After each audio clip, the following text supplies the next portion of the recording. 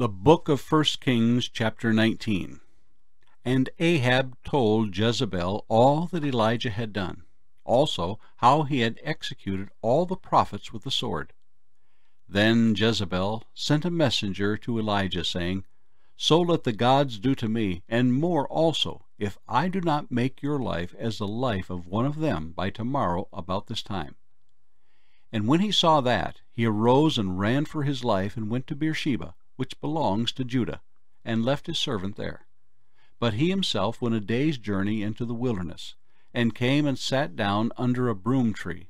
And he prayed that he might die, and said, It is enough. Now, Lord, take my life, for I am no better than my father's. Then, as he lay and slept under a broom tree, suddenly an angel touched him, and said to him, Arise and eat. Then he looked, and there by his head was a cake baked on coals and a jar of water. So he ate and drank and lay down again. And the angel of the Lord came back the second time and touched him and said, Arise and eat, because the journey is too great for you. So he arose and ate and drank, and he went in the strength of that food forty days and forty nights, as far as Horeb, the mountain of God. And there he went into a cave and spent the night in that place. And behold, the word of the Lord came to him, and he said to him, What are you doing here, Elijah? So he said, I have been very zealous for the Lord God of hosts, for the children of Israel have forsaken your covenant, torn down your altars, and killed your prophets with the sword.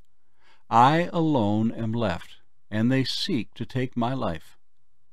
Then he said, Go out and stand on the mountain before the Lord.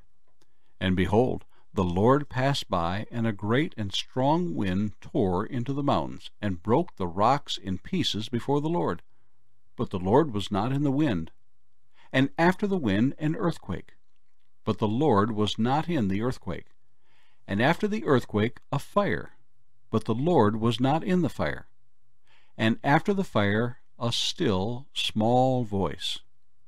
So it was when Elijah heard it, that he wrapped his face in his mantle and went out and stood in the entrance of the cave. Suddenly a voice came to him and said, What are you doing here, Elijah?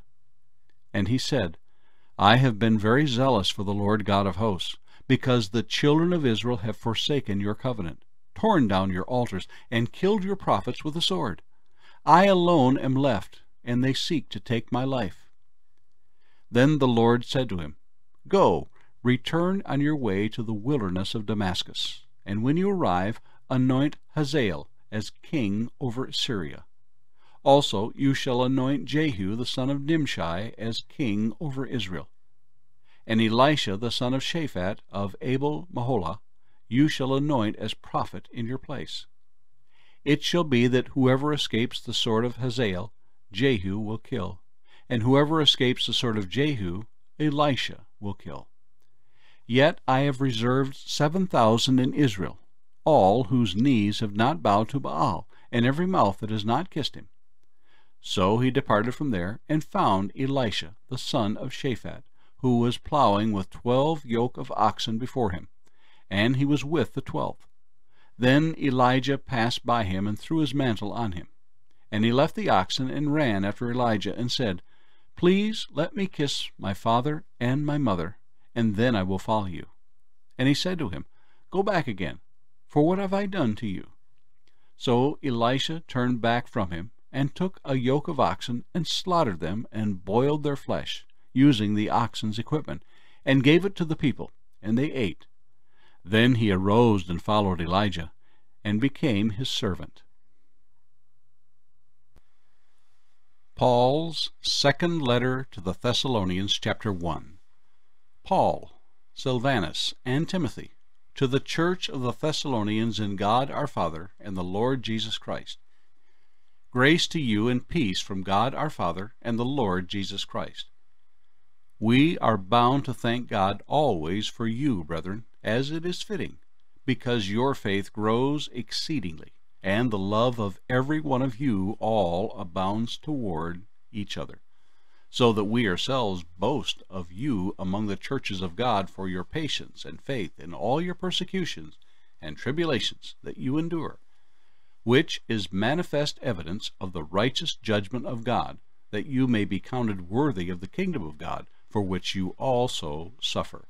Since it is a righteous thing with God to repay with tribulation those who trouble you, and to give you who are troubled rest with us, when the Lord Jesus is revealed from heaven with his mighty angels in flaming fire, taking vengeance on those who do not know God, and on those who do not obey the gospel of our Lord Jesus Christ.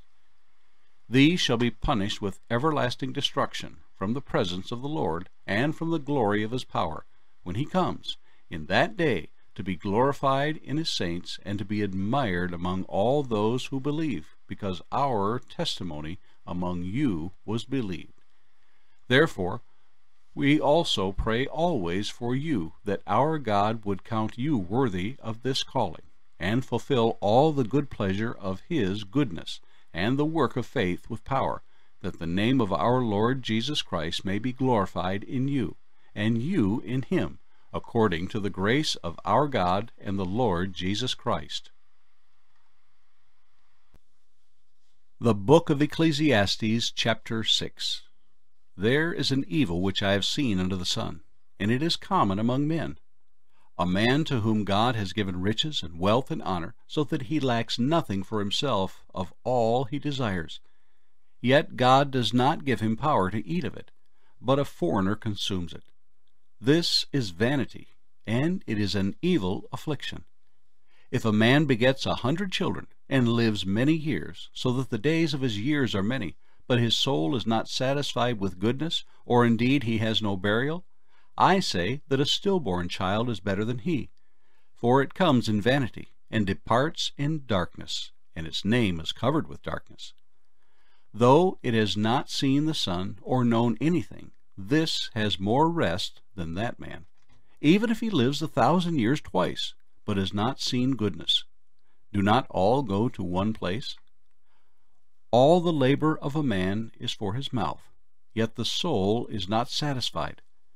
For what more has the wise man than the fool? What does the poor man have, who knows how to walk before the living? Better is the sight of the eyes than the wandering of desire. This also is vanity and grasping for the wind. Whatever one is, he has been named already for it is known that he is man, and he cannot contend with him who is mightier than he. Since there are many things that increase vanity, how is man the better? For who knows what is good for man in life, all the days of his vain life which he passes like a shadow? Who can tell a man what will happen after him under the sun?